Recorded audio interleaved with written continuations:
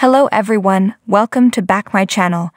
I hope everyone is having a wonderful day. Before starting the video, please go ahead and hit the subscribe button and give this video a thumbs up.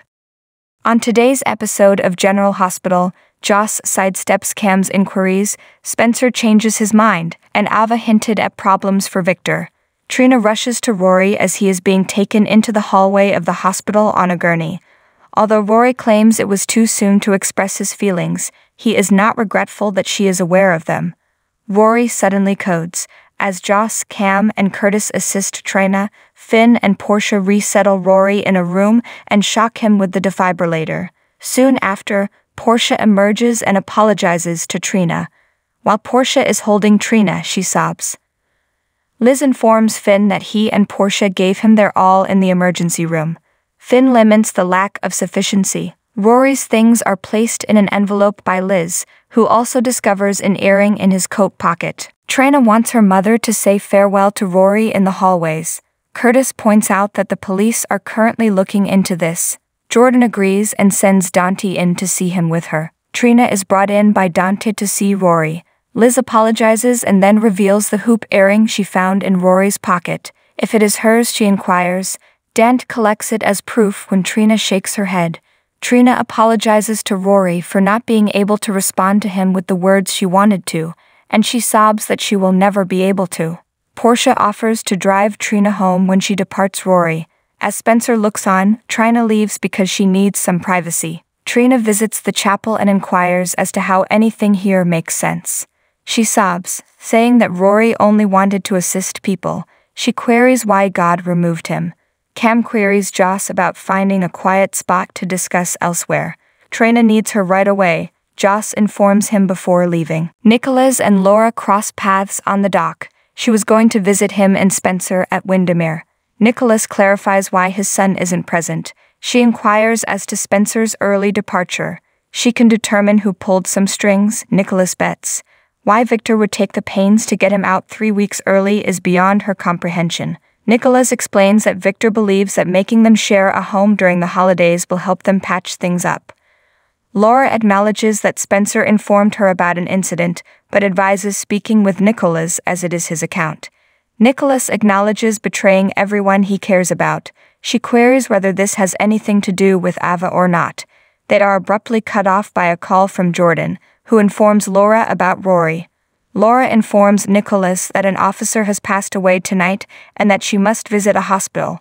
She requests Nikolas' assurance that she won't lose sight of what really counts. Dante displays the lead possible earring to Jordan back at the hospital.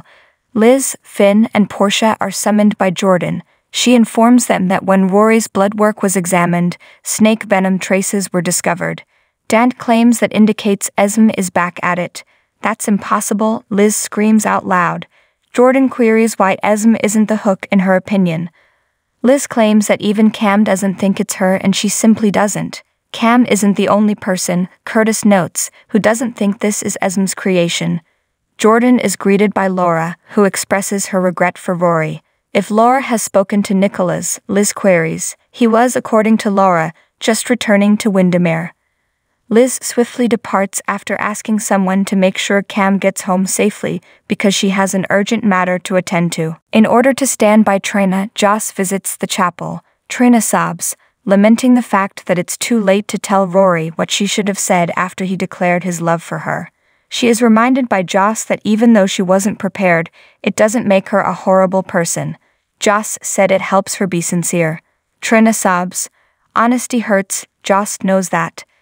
Joss burns a candle for Rory, and Trina informs him that Ava doesn't think Esme killed the hook. Joss advises them to put their trust in the police to solve the case. Trina is interrupted by Curtis, who requests that she accompany him as he takes her home. Laura encircles Cam and Spencer in the hallway. Spencer says he was going to phone his grandma about his release when all of this happened, and Cam excuses himself. Because he brought Esme to town, Spencer holds himself responsible for what happened to Rory. Laura explains to him that she doesn't hold him accountable for Esme. He is unaware of any actions he has ever taken to win her trust. She claims that when he testified during Trina's trial, despite knowing he would go to prison, he immediately changed his life around. He was traveling along a mysterious path prior to then. Cam requests to talk with Joss before accepting Dante's offer to drive him home. Dante allows them some room. She allegedly told Cam earlier that she had something crucial to share. She decides it can wait because all she can think about is Rory. Spencer asks Cam what that was about as Joss departs. He is unsure. Spencer queries his cousin about if he informed their grandmother of his intention to leave town. Since everything has changed, Spencer swears he will not be leaving. Liz tries to phone Nikolas when she is on the pier, but the call is disconnected. She leaves him a message expressing her concern that he is about to fall victim to a trap. Nikolas opens Esme's chamber door in Wyndemere. He discovers her tree decoration. She claims the angel is all that is required. Liz suddenly enters. Liz asks Nikolas whether Esme might have left tonight as she and Nicola leave. It is impossible, he asserts. She tells Nikolas that a cop was slain tonight by the hook. She sobs as she realizes that they had to give up everything to keep everyone safe from Esme, who isn't the murderer. Ava listens to the recording of Nikolas confessing to killing Esme at the gallery on her computer. She dials a number and requests that the person have a listen as she plays the confession. She demands that they arrive at her gallery right away. When Victor arrives, she discovers Ava sipping on a martini. He inquires as to what they are drinking to as she offers him one. She claims that Nikolas's wish has come true, and they are getting divorced. When she informs him that Nikolas and Liz have been having an affair and that she is now expecting his kid, he is taken aback. She says they both are aware that divorces can be amicable or violent. She plays the confession she still has and says the divorce court will hear about it. Victor tells her that Esme is still alive, proving Nikolas' confession to a false crime. He warns that when people inquire why, they will likely assume it was done to keep her safe when Esme fell from the parapet. It will nevertheless, according to Ava, shed light on his dishonest relatives.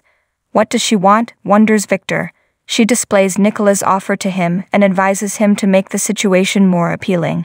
He promises to get back to her with a better offer and says he will. Ava breaks her glass against the wall as he walks away. Thanks for watching this video. Please subscribe to our channel, G and H Update, and stay with us.